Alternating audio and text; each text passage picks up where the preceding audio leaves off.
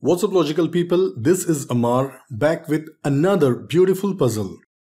The challenge is to find out the next picture in this series. Well, there is no mathematics needed here, it's only about identifying the pattern. So pause the video and think logically.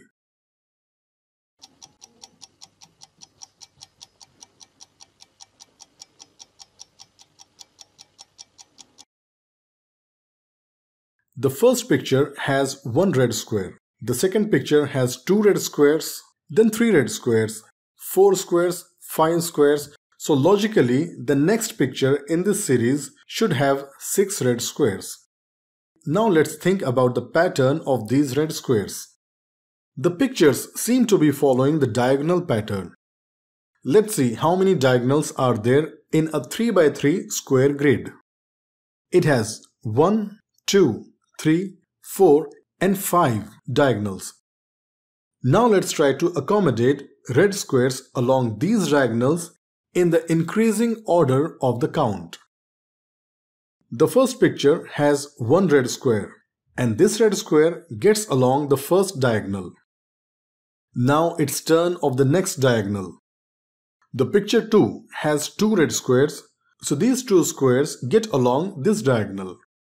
Similarly, it's the turn of the next diagonal and in the third picture, the three red squares can fit along this diagonal. Now the fourth picture gets challenging. The next diagonal can only accommodate two squares.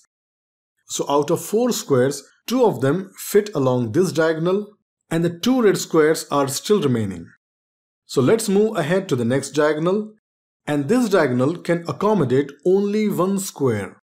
And now, to accommodate the remaining one square, we would need to circle back to the very first diagonal. This diagonal needs just one square, so the remaining red square would fit at this position. And this is how exactly it was given in the picture number 4 of the question. Now it's turn of the next diagonal and we are going for picture number 5 with 5 red squares. It could have only 2 red squares so let's move on to the next diagonal which can have the remaining three red squares and this can be cross-verified with the given picture number 5. Let's move on to the next diagonal. Now finally we need to fit these 6 red squares for the next picture that is picture number 6.